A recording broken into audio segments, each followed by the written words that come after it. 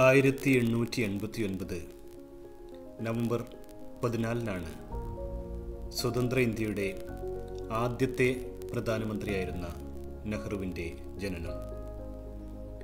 കുട്ടികളോടുള്ള അദ്ദേഹത്തിന്റെ സ്നേഹവും അടുപ്പവും വളരെ പ്രസിദ്ധമാണ്. ഇതോടെയാണ് ചാച്ചാജി എന്ന ഓമനപ്പേരിൽ അദ്ദേഹം അറിയപ്പെടാൻ തുടങ്ങിയത്.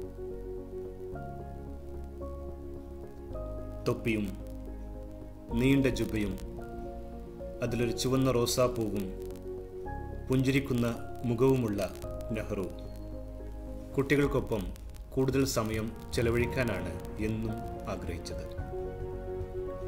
ആഘോഷങ്ങൾ ഏറെ ഇഷ്ടപ്പെടുമ്പോഴും കുട്ടികളാണ് സമൂഹത്തിന്റെ കരുത്തെന്ന് വിശ്വസിച്ചിരുന്ന വ്യക്തി കൂടിയാണ്.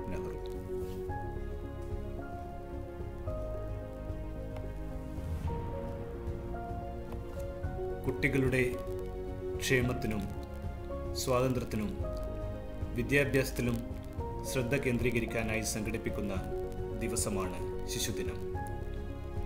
രാജ്യത്തെ കുട്ടികൾ അവരുടെ ജീവിതം ആവോളം ആസ്വദിക്കാനും ആരോഗ്യവും സംസ്കാരവുമുള്ള ഉത്തമ പൗരന്മാരായി വളരാനുമുള്ള അവസരങ്ങളും സാഹചര്യങ്ങളും ഓരോ ശിശുദിനവും പ്രദാനം ചെയ്യുന്നു. ശിശുദിനം കുട്ടികളുടെ ആഘോഷമാണ്. ഈ ശിശുദിനത്തിൽ കരിയേട് നമ്പ്യാസ് യു പി സ്കൂളും വൈവിധ്യമാർന്ന ആഘോഷങ്ങളും മത്സരങ്ങളും നടത്തുന്നു. സോഷ്യൽ സയൻസ് ക്ലബ്ബ് നടത്തുന്ന ശിശുദിന ആഘോഷങ്ങളിൽ ഭാവിയുടെ വാഗ്ദാനങ്ങളായ പ്രിയ കൂട്ടുകാർ ആവേശത്തോടെ പങ്കെടുക്കണം. മഹാന്മാരായ ദേശസ്നേഹികളെ മാതൃകയാക്കിക്കൊണ്ട് ഉത്തമ പൗരന്മാരായി വളരാൻ എല്ലാവിധ ആശീർവാദങ്ങളും അനുഗ്രഹങ്ങളും ഉണ്ടാവട്ടെ എന്ന് പ്രാർത്ഥിക്കുന്നു. ജയ് ഹിന്ദ്.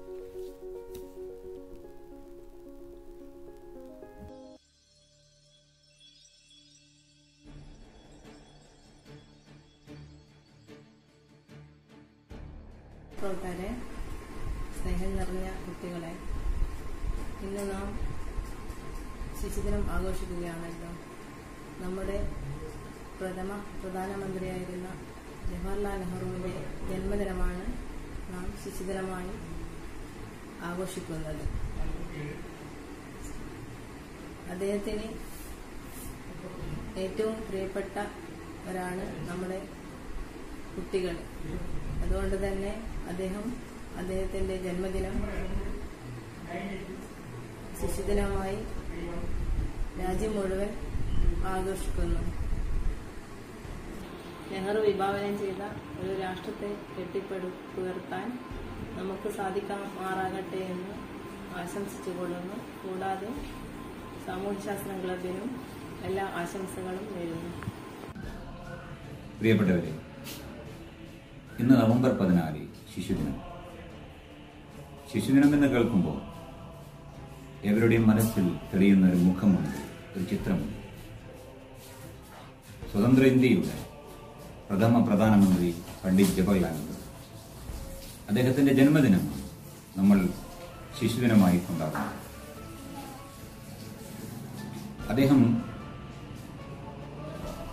ഒരു വലിയ എഴുത്തുകാരനായിരുന്നു വലിയ ഭരണാധികാരിയായിരുന്നു ഒരുപാട് നന്മകൾ നിറഞ്ഞ മനുഷ്യനായിരുന്നു. അതിലപ്പുറം ബ്രിട്ടീഷുകാരെ ചവിട്ടി മതിച്ച ചവറ്റി നിന്ന് ഇന്ത്യ മഹാരാജ്യം സൃഷ്ടിച്ചെടുത്ത ഒരു നവഭാരത ശില്പി കൂടിയാണ് നെഹ്റു.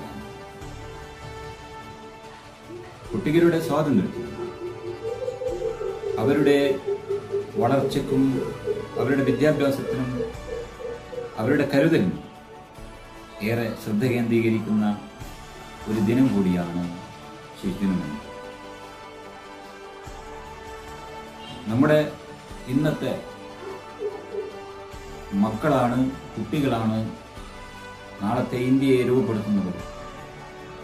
അവരെ വളർത്തുന്ന ജീവിത രീതിയാണ് നമ്മുടെ രാജ്യത്തിന്റെ ഭാവി നിർണയിക്കുക എന്ന പണ്ഡിറ്റ്ജിയുടെ വാക്കുകൾക്ക് ഈ ഒരു കാലഘട്ടത്തിനും വളരെയധികം പ്രാധാന്യമുണ്ട് എന്ന് മാത്രം സൂചിപ്പിച്ചുകൊണ്ട് ഈ പരിപാടിക്ക് എല്ലാവിധ നന്മകൾ നേർന്നുകൊണ്ട് ഞാൻ ഞാൻ അവസാനിപ്പിക്കുന്നു. आज नवंबर चौदह बाल दिवस, हमारे प्यारे चाचा जी का जन्म दिवस। आज का दिवस मेरा, सबको मेरा प्यार मेरा नमस्कार। पंडित जवाहरलाल नेहरू जी का जन्म दिवस, हम बाल दिवस होकर मनाए जाते हैं। क्यों?